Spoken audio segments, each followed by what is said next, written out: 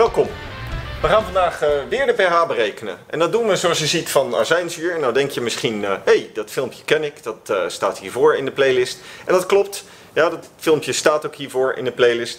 Maar ik laat je zien dat het makkelijker kan. Ja, we hoeven niet die ABC-formule te gebruiken. We kunnen een weg eromheen. En als we even goed blijven opletten wat we aan het doen zijn. Maar in eerste instantie lijkt het dus allemaal hetzelfde te zijn. We gaan de pH uitrekenen van uh, azijnzuur. Dus hier staat azijnzuur opgelost in water, ja, met water. En dit is natuurlijk belangrijk. Het is een zwakzuur. En het is een zwakzuur. Ja, nieuwe pijlen. Een zwakzuur. Ja, dus um, evenwichtspijlen, H3O+, en het zuurrest uh, ion. En wat zien we? Ik heb een uh, paar dingen opgeschreven. Onze gegevens zijn, we lossen 3,2 gram per liter op. Het molaire massa van uh, azijnzuur is 60,053 gram per mol. En de KZ, zoals je die op kan uh, zoeken in uh, tabel 49 uit je BINAS, is 1,7 x 10 tot de macht min 5. Dan kunnen we daar een, een evenwichtsvoorwaarde maken. Ja, de KZ is de H3O plus concentratie. Keren het zuurrest-ion concentratie gedeeld door de concentratie van het azijnzuurmolecuul. En heb ik hier een andere kleur in blauw heb ik even een tabelletje gemaakt wat je inmiddels hopelijk wel kent. Mijn drie deeltjes, mijn drie uh, toestanden, T0, het verschil en het T-eind. En je ziet hier die laatste regel 0,053 min x. Dan moeten we straks hier gaan invullen, zoals dus ook in het vorige filmpje. x voor H3O plus concentratie en x voor het zuurrestion. En dat heb ik hier gedaan. Ja, dus ik heb hier de evenwichtsvoorwaarden. Heb ik ook weer staan. H3O plus, CH3COO min en het azijnzuur. Dat moeten we invullen. Dubbel x hierboven, x kwadraat 0,053 min x beneden. Maar even pauze. Even nadenken. Want wat is nou een zwak zuur? Een zwak zuur is een zuur waarbij dit geen aflopende reactie is. En we geven dit met AQ aan omdat we uh, veronderstellen dat dit zuur, dit azijnzuur, als azijnzuur opgelost is. En dat er maar heel weinig van dit zuurrestion is.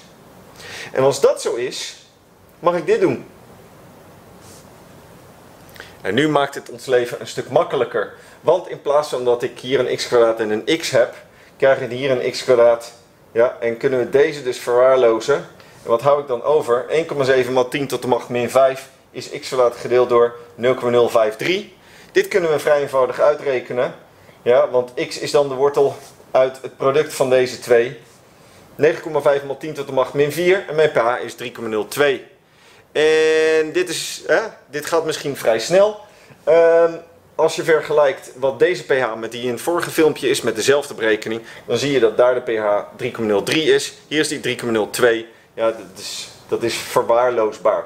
Wanneer mag je dit nou doen? Wanneer mag je deze x, ik zet hem er even weer bij in het blauw, Wanneer mag je deze x nou verwaarlozen?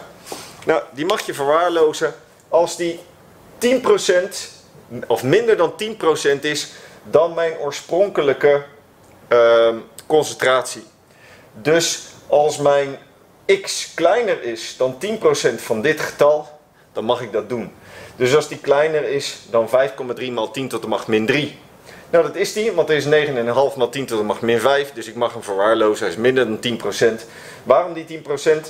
Ja, uh, eh, 10% hier leidt tot 1% verschil in mijn pH. Want dat is een logaritmische uh, berekening. Dus dit mag bijna altijd, 99% van de gevallen. Maar blijf opletten. Ja, als je nou na het verwaarlozen van die x in de noemer blijkt dat je met een x zit die groter is dan 10% van je oorspronkelijke concentratie.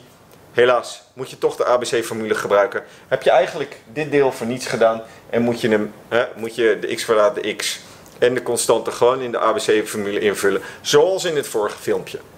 Vind je dit wat? Laat het me weten. Ja, schrijf een comment of zoiets. Abonneer en uh, je weet al dat ze allemaal door dat soort dingen.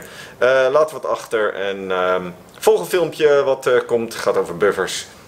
Heel veel succes met scheikunde.